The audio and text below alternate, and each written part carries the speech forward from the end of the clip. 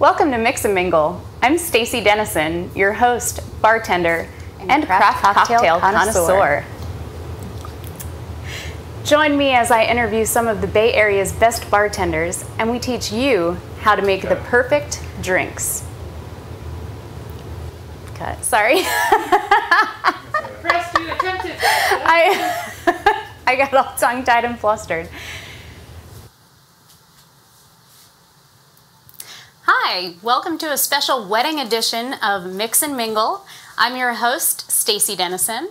Tonight I have a very special guest, Mr. Chad Cadwell from Spunky Spirits Mobile Bartending Service.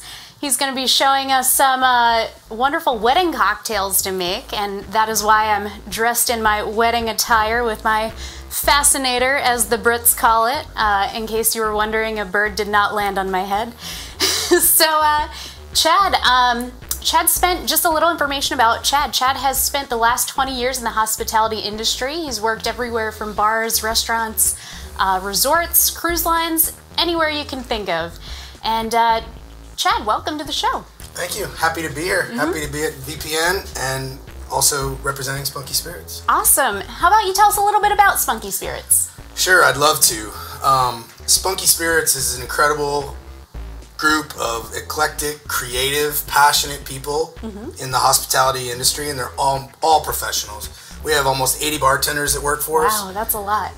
It is a mm-hmm. lot, and we did uh, 520 events last year. Well over half oh. of those are weddings, so we do a lot of this, and we're good at it. Mm-hmm. mm-hmm. You guys are. Yeah, you sure are. And we're part of a really cool community um, of people and organizations that work really, really hard to make sure that the special day, the most special day of anybody's life, mm-hmm. right, is even that much more special. Absolutely. They go the extra mile. Want to give a quick shout out. Some of them, mm-hmm. uh, Amici's Catering, VPN Studios, wedding cinem- cinematographers. Uh, we work with Blue Sky Events as an event planner a lot, mm-hmm. among many other incredible event planners. Mm-hmm. Uh, and it's exciting to work with people that are so passionate. Uh, for as far as photographers go, there's a ton of them in the community. Oh yes, there uh, are. But we have uh, some great ones with uh, signature events, photography, cake. We have cake providers, uh, Piece of Cake, Grant Heeman and Associates, uh, Athena's Bridal Boutique. We have some great venues that we mm-hmm. love to work with: Carrollwood Cultural Center, Casa Lantana, Creative Loafing, Davis Island Garden Club, um, Epicenter Event Center, which is a great place in Lutz. Uh, we got Old McMickey's Farm we work with a lot. Great. Uh, St. Pete's Bridal, uh, St. Pete Beach Recreation Center, nice and also location. the Tampa Garden Club. Mm-hmm. All of whom just really go that extra mile to make sure that uh, our bridal parties and um, all their family and friends and everything come to a great spot and have a great Gotta time. make the bride happy. Yeah, tell you what. so, uh, Chad, what drinks are you going to be making for us tonight? Well, we, we brought a sampling of something that we would we'd like to to to at least consult our wedding parties to, to go for, which is kind of a custom drink menu. Mm-hmm. So we can really kind of cater to the needs of a wedding. Sometimes when the when the reception gets over, or excuse me, when the um, ceremony. When the excuse me, thank you. When the mm-hmm. ceremony gets over, we sometimes have 100 to 150 people lining oh, up at the bar. Oh, they're rushing that bar for sure. Right. So no matter the so open no, bar starts, everyone's amen. going to that bar. Yeah. So no matter how many bartenders you have and how many bars, you're going to have a line. So these cocktails, some of them are set up to really provide that really high-end craft experience for mm-hmm. people, and we really know we can kind of funnel the people and know what they're going to drink because mm-hmm. it's hard to know, right? Yes. Sometimes what, yes, what our what our guests are going to drink. That's right. And then other drinks are kind of catered to be able to pre-make them. Mm-hmm. So um, we, we do try to focus on some specialty cocktails that are relatively simple that we can keep pre-made mm-hmm. uh, and make as we go and pre-make right. them and continue to refill them and just pour six, ten at a time. Mm-hmm. Uh, so that's really some of the benefits to having a custom cocktail menu. So and today, people love custom custom cocktails at uh, weddings too, like signature drinks. I know a lot of brides love to have a signature drink at their wedding. Absolutely, and you guys and have the reason. Best menu too. Yeah. So today. Uh, we're featuring uh, something old, something new, something borrowed, and something blue. Love and it. you enlightened me about what that yeah, meant. so uh, I was just telling Chad before we started taping that uh, the history of the something old, something new, something borrowed, and something blue is actually the something old is supposed to represent continuity the something new is uh, supposed to be a symbol of optimism for the future. Something borrowed is borrowed happiness. So make sure if you're a bride out there uh, watching tonight, when you get your, you know, something old, something borrowed, something blue, you borrow from someone happy. and uh, the something blue stands for purity, love, and fidelity. So. Important things when you're getting yes, ready to tie absolutely. that knot. Absolutely, old traditions. Yeah. So the first drink we're going to be making is the old, the something old. Sure, and it's an old fashioned. I love a good old fashioned. And I tell you what, we don't make bad old fashions around here. we really take pride in that. Um, and for all the bourbon drinkers or rye or whatever you know um, the preference is, it can be made a lot of different ways. Um, we're going to start with kind of a classic recipe, and then I'd love to share just a little bit of a Florida twist on that, okay. if you All would. Right. So tonight we're going to start with the Maker's Mark mm. bourbon. Um, we also used. I, I, started these 48 hours ago. These are a drunken cherry, um, and really, uh, we basically just so you know what we're going to be using. And we're going to use it in mm-hmm. a couple different ways, uh, but we pit cherries, and a really easy way to do that is to take like the end of a chopstick okay. over a soda bottle and just poke oh, that poke that out, okay. and it, it's a great way to get the pit out of the cherry. Fill it about two two thirds of the way full, and uh, we boil water, honey, mm-hmm. vanilla, mm-hmm. and some orange uh, orange peel. Nice. And we boil that, mix it with bourbon, pour it over the cherries, and let it sit for about 48 hours. Um, that Some sweetness. more boozy fruit for those it's that were watching fruit. last sure, week. Sure, sure. It's drunken fruit.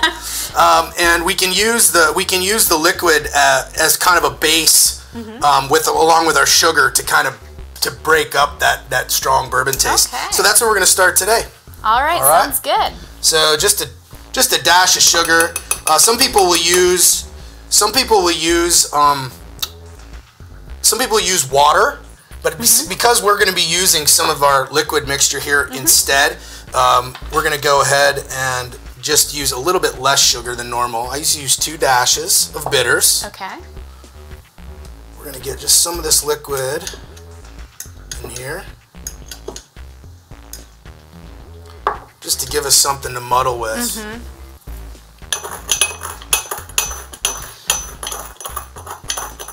I'm going to break that up, get that sugar. And you're using the, are you using the sugar in the raw right now? I'm like, using or? sugar in the raw, okay. that's correct, okay. yep. Um, if you can get your hands on rock candy, rock candy oh. is really, really good okay. in these as well. Let me go ahead and put that right yeah, there. I think they still sell that at like Cracker Barrel or something. I bet yeah. that's the yeah, case. Yeah, they have like the old time candy there. So, we like to use globe ice as well. So is that slower in melting? It's slower in melting mm-hmm. and it's just a lot more surface area. It's cleaner. Mm-hmm. Um, and I just really like how it looks. It's really cool looking. Yeah. uh, I'm going to take my cherry and a lot of people like to muddle their oranges and their and their mm-hmm. uh, cherries. I prefer not to muddle so much. Mm-hmm. Um, I just like to squeeze it out just a little bit. And because I spent so much time on these cherries, we're going to go ahead and put two in here. Okay.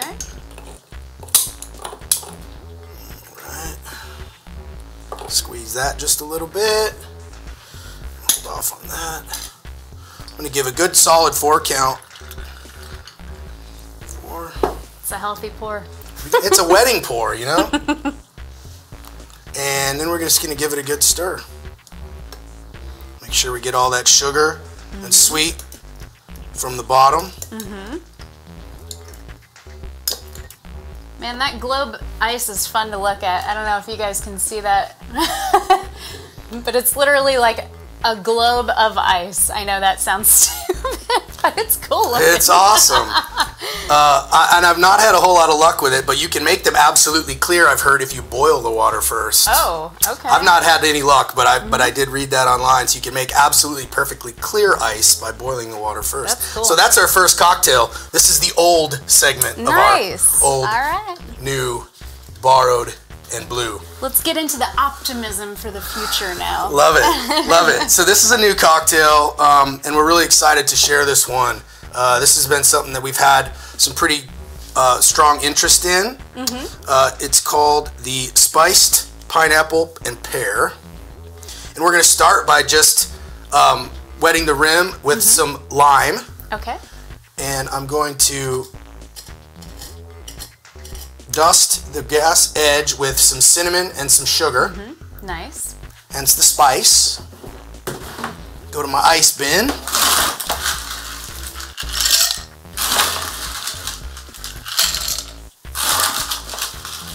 And I'm gonna ice my glass. So the um, the choice for this, we're gonna we're happy to be using Code Rum. It's a local Florida rum. This stuff is off the chain good, and we're really happy to be using this today. It's a spice rum, um, and then also we're gonna be using just a small amount of amaretto. It's about a three to one mix. Um, so, and I'm just gonna go ahead and pour this directly on the ice and stir this cocktail. Uh, Chad, I just want to mention that Code Rum is actually one of our sponsors, so big thank you to Code Rum for sponsoring our show. Yep, good looking out, good stuff. Two more times.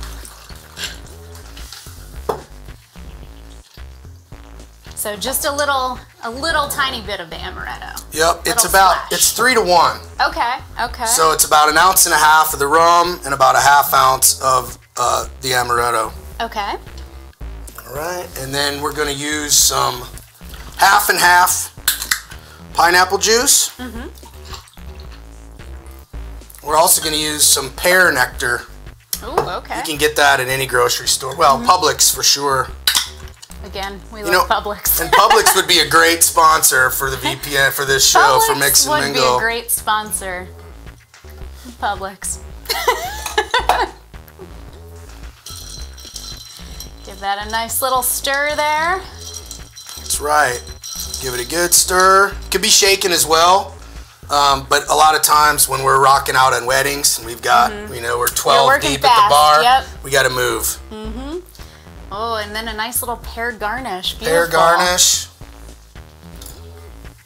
And a pineapple garnish. and a pineapple garnish. That is And beautiful. that's our cocktail. That's the, the new. That's the spiced That's pineapple and pear. Yeah, we don't play. Yeah, those are a couple of good looking cocktails right there. Hey, they're going to taste good too. All right, well, on that note, how about we take our cocktails and step into the lounge area for a little mingle session? Let's do it. Thank you. Mm-hmm.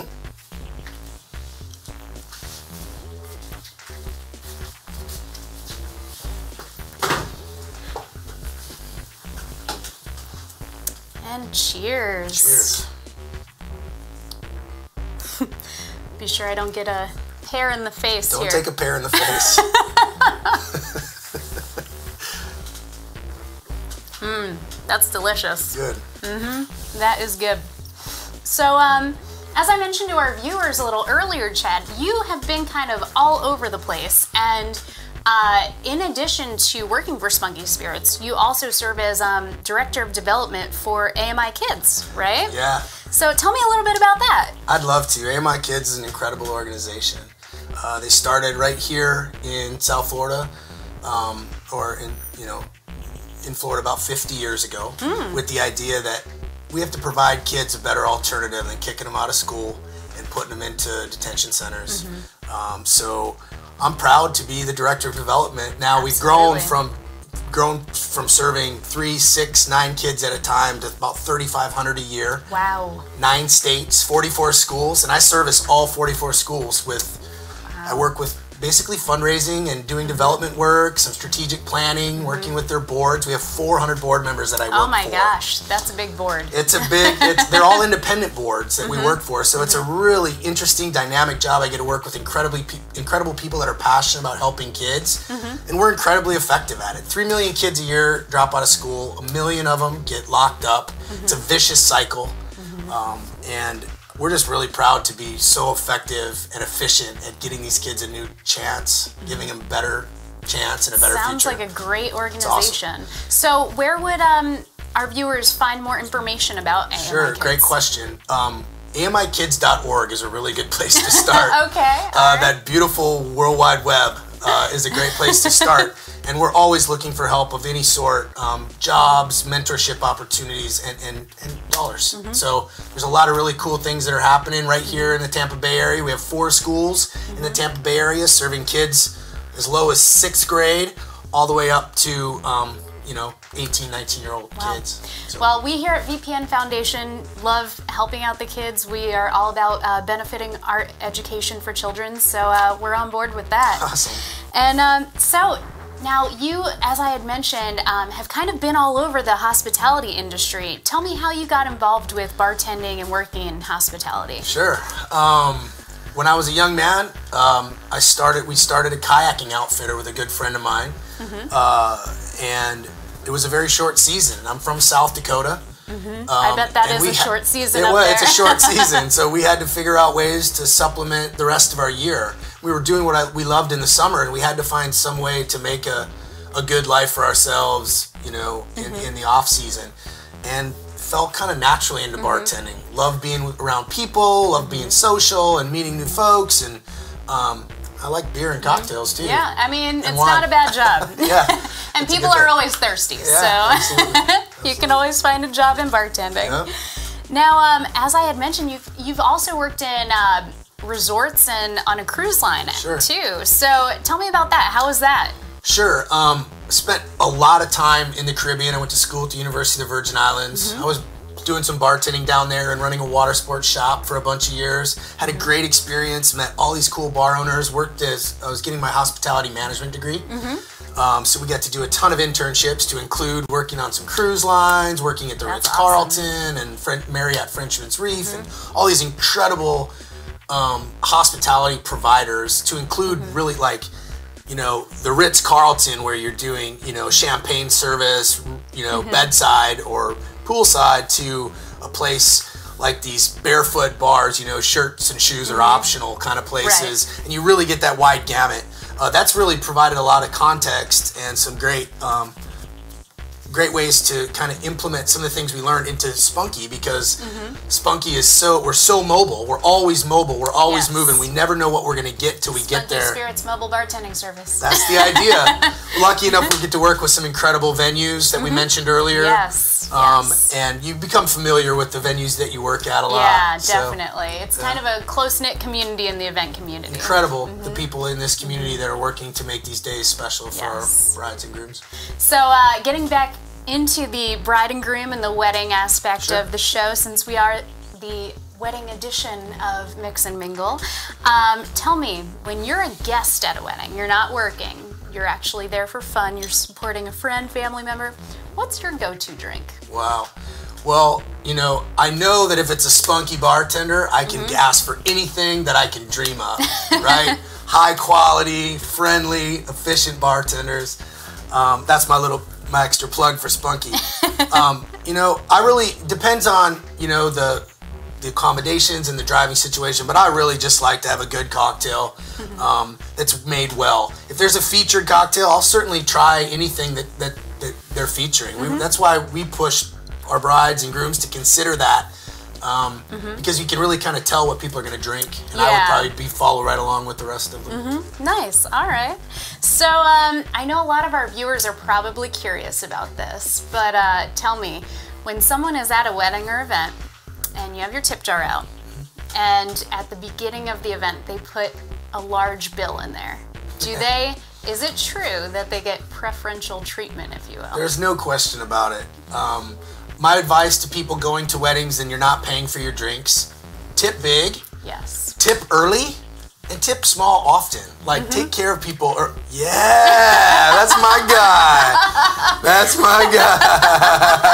That's uh, our producer Von Reed over here throwing down the bills, making it rain. Man, I didn't see that coming. That's awesome. Good man. Good man.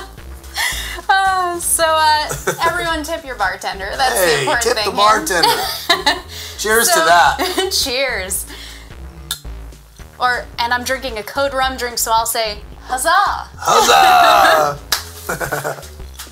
So Chad, this is an interesting question. Yeah. If a specialty drink at an event was named for you, what would it be? Wow. Um.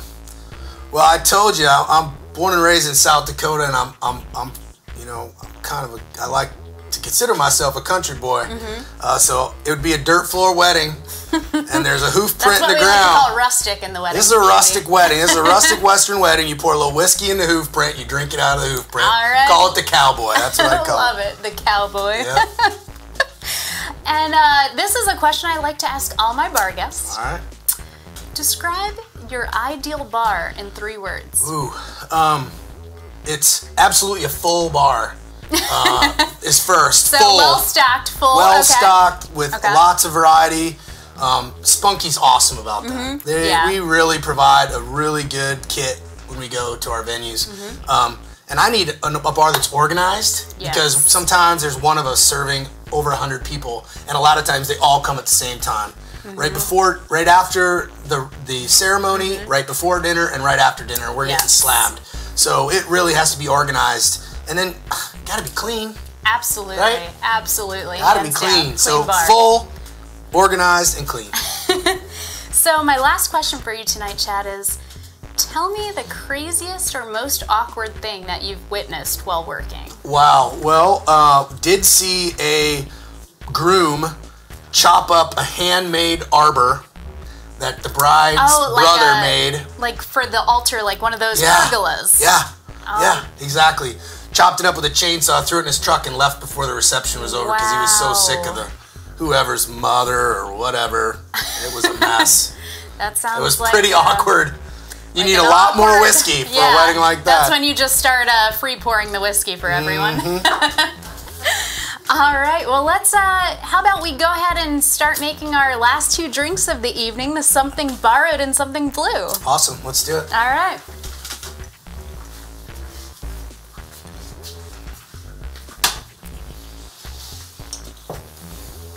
Cool.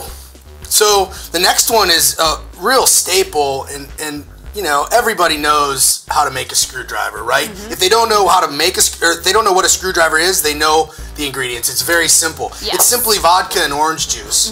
Um, what I would like to talk about today is maybe some ways that we can spice it up a little bit. So before I ice this glass, what I'm going to do is I'm going to take an orange slice. I'm going to take a little bit of sugar. And the reason we do that is because it'll it'll kind of break up some of that acidity. And then uh, I'm to put a little bit of salt in that as well. Oh, interesting. And that'll kind of take the edge off of that orange juice. One other really good way to make this screwdriver um, a little bit more interesting is using a really high quality orange juice, even uh, fresh squeezed orange juice. If you're yeah, making them at home, ideal. Man, if you're making them at home, it's all about that experience for your guests. Mm-hmm. You can absolutely let them watch you squeeze these orange juice very efficiently. Mm-hmm. Um, honey bells are awesome. Valencia oranges are awesome, and we're in Florida, so make sure you're using good orange juice. Don't use a Definitely. jokey, or- you know, don't use some janky orange juice. so we're gonna ice that glass.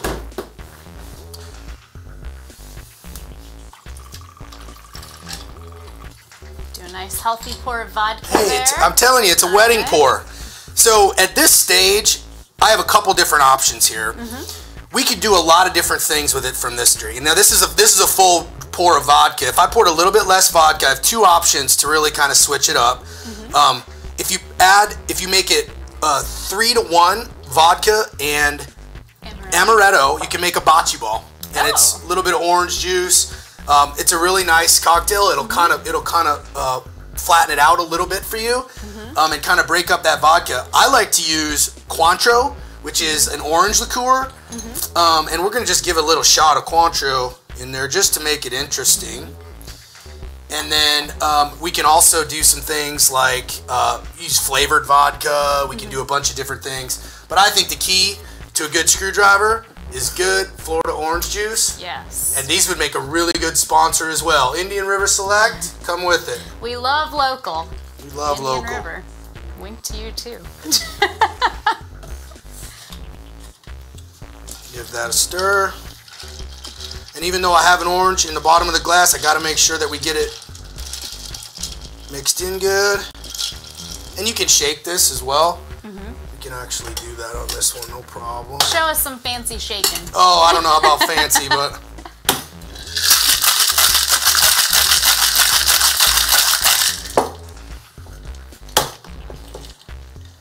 Oh, I hate when that happens. but I promise I won't spill. yes. love you, April. April, I, I saw it. I felt for you last week, sister. And that's our drink.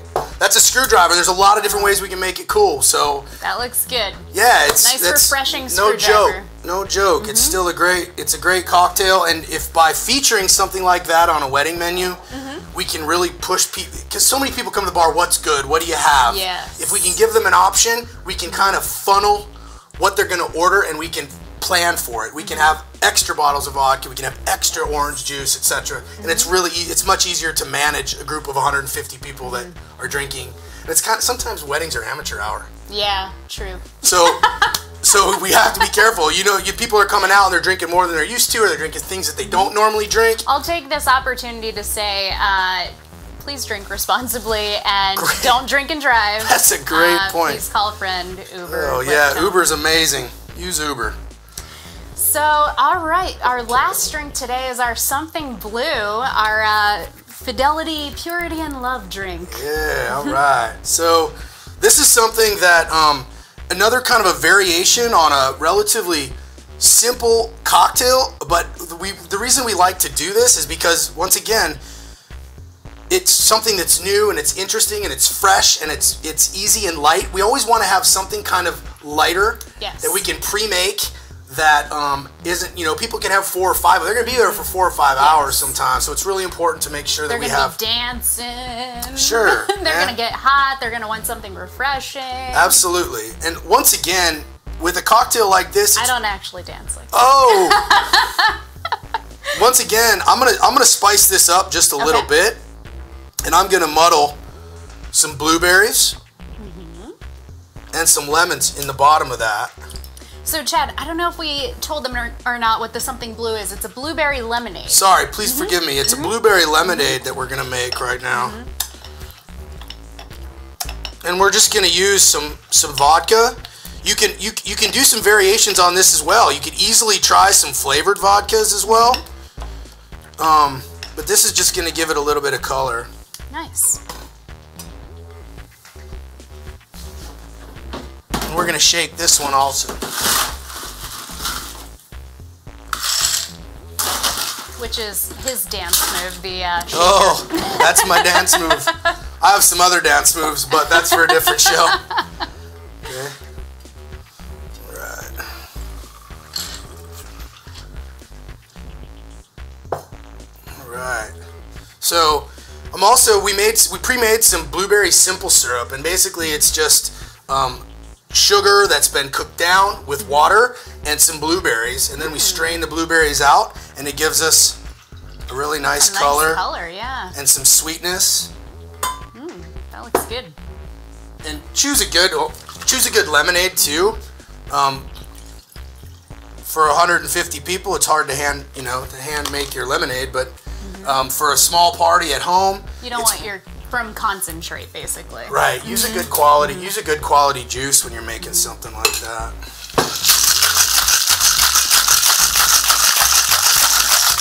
Shake, shake, shake. Oh, you did spill. oh, All right, April, it's all fair now.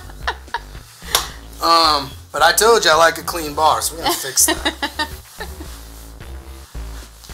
All right, and then a simple garnish. And another nice thing about um, if you know what you're gonna make and you know you're gonna make a lot of them, you can prep. You can prep right your garnish. there so everyone sees. That's beautiful. That is Simple, a beautiful drink. easy, light, enjoyable. You can drink in Florida in the summertime, and it's great. So awesome. there you go. Awesome. Well, thank you so much for joining us today, Chad. It's been a pleasure to have you on the show, and these cocktails were amazing. I love the fact that Spunky brings uh, craft cocktails to the wedding industry. It's not just your usual, you know.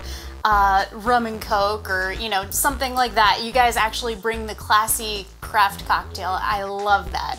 So, uh, on that note, a big thank you and cheers to our sponsor this evening, Spunky spirits. I'm getting my drink here. Give you your drink to uh, toast Ooh, all if you would like. Uh, big Shout out thank to you. Code.